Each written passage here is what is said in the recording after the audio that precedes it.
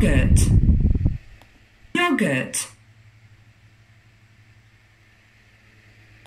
Jam. Jam. Jam. Jam. Noodles.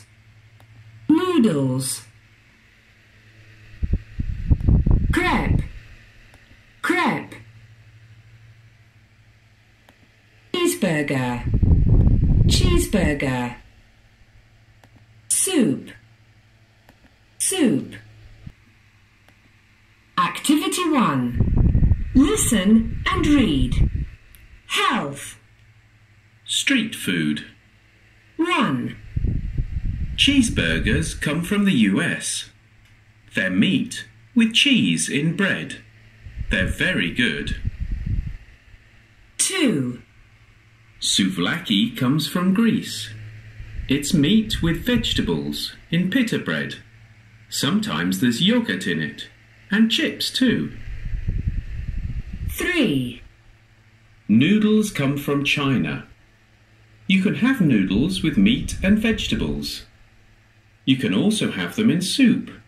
They're yummy. 4. Crepes come from France. They're like thin pancakes. French people eat crepes with cheese. There are also sweet crepes with jam or chocolate.